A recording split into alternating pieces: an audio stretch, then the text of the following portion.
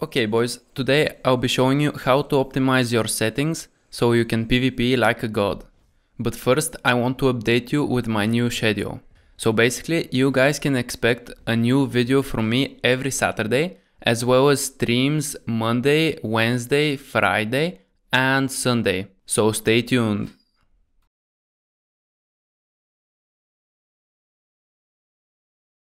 Okay, so the most important first step is to get your launch options.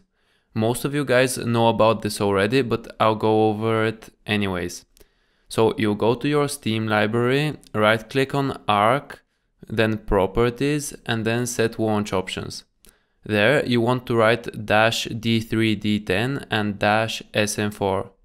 This basically makes your game run in DirectX 10 mode instead of DirectX 11 and shader model 4 instead of shader model 5. This will remove ground clutter and some other visual effects, but it will make your game run with double the FPS.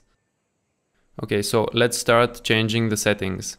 First off, we've got the audio section, which is kind of personal preference, but this is how I have it. Okay, so you want your resolution scale all the way to the right, because otherwise the image gets blurry. World tile buffers means how much of the world actually gets preloaded so that you don't stutter when you go in a new area and the chunk is loading. If you have a lot of VRAM on your GPU, you should set this higher. If not, lower it. Personally, I have it at high. Next up, we've got view distance. Uh, this basically means how far away objects like rocks and other stuff like that get rendered in.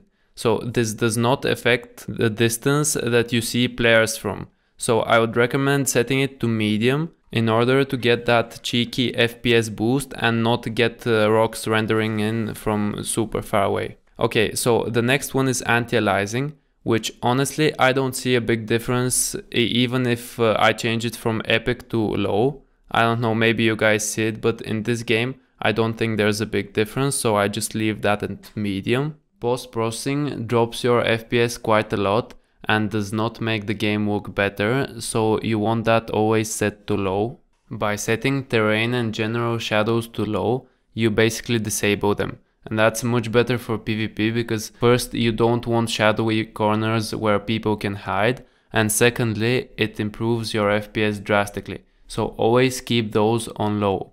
So with textures, the differences between medium and epic are not that big, both in FPS and visual quality, so you can use either one of those or set it to low if you desperately need FPS. Personally, I keep mine at high.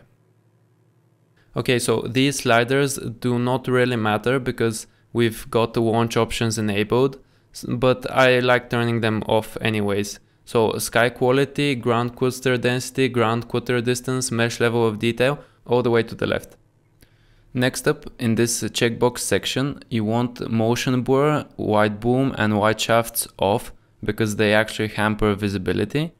And I turn the rest of these off just to give me a few extra FPS, but that's optional. You want as little camera shake as possible, so turn that all the way to the left and as much camera FOV as you can so all the way to the right. Now with the sensitivities, I found that when I swipe them all the way to the left, it's my default mouse sensitivity, so I keep them all the way to the left. You should leave third person camera offset off because it makes your third person view with less FOV and just puts your character to the left, which is kind of annoying in my opinion but you do want to check disable third person camera interpolation because it should make your camera turn faster when you're riding a dino. Moving on to the advanced section, you want to turn off melee camera animation because it just makes your camera shake when you're hitting something. Definitely turn off camera view bob because that makes your camera shake when you're just running around. You don't want that for sure. Turbidity effect makes it uh, so your screen goes purple in the edges when uh, your torpor is rising and for me that's distracting when I PvP so I turn that off. Menu transitions make it so there's a delay between you hitting the open inventory button and your inventory actually showing up. So you definitely want to turn that off. You want to enable no tooltip delay as well because it just slows you down.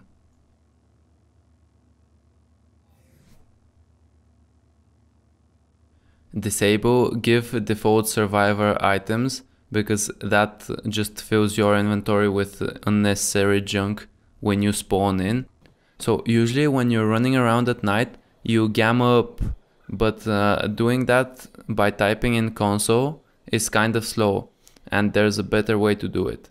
So when you hop over to the key binding section, you can actually set keybinds to change your gamma easily. I have mine set to plus and minus on my numpad and I've got the second gamma value to 4 because that's where I like it at night and you can see just how easy it is to swap between gammas on the fly. Bind selfie cam to something convenient like left alt because that's why K mode that you have to hold down the button so you can just check if someone is chasing you on the fly. You want to bind your number 9 SWAT to the scroll wheel click on your mouse and put something important there like parachutes or grapples. I say the number 9 SWAT because Pegos steal whatever is on your last SWAT, and I've had one steal my parachutes during a terror fight. You want to bind your follow and unfollow whistles on something very convenient. I have mine on my two mouse buttons. So you can whistle your mount if you get unmounted or anything bad happens. Okay boys, that's it for the tutorial. We quadrupled our starting FPS as well as got some very important keybinds and settings in check. I hope you found it useful and I hope you subscribe for some more weekly content from ya boy. Goodbye!